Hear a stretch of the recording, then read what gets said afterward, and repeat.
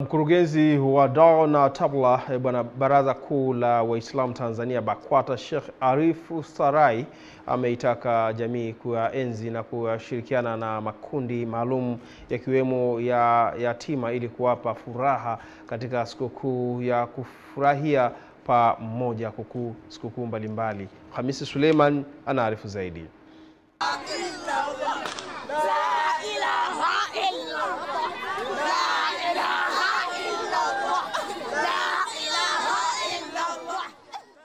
Sheikh Arif ametoa wito huo wakati akisherehekea sikukuu ya Idi el Adha katika viwanja vya Kiwalani ambapo makundi mbalimbali ya watoto yatima kutoka katika vituo mbalimbali walishiriki michezo mbalimbali na baadaye kula na kupatiwa zawadi mbalimbali. Naomba tushirikiane katika mambo kama haya, ndugu zangu, ili jambo hili linagusa sana e, linawagusa sana watu ambao wa hali ya chini.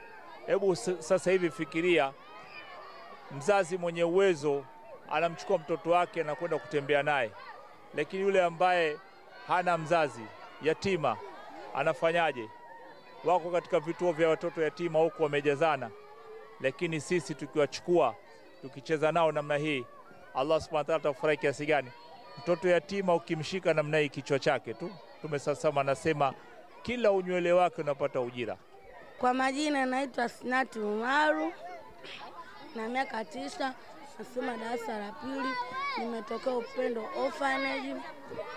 Kwa kweli tunashukuru sana kwa sadaka zenu. Mungu azidishie, ape kila heri, atoe kila rashadi, awape maisha mazuri. Amin. Hamisi Suleiman, Channel 10, Dar es Salaam.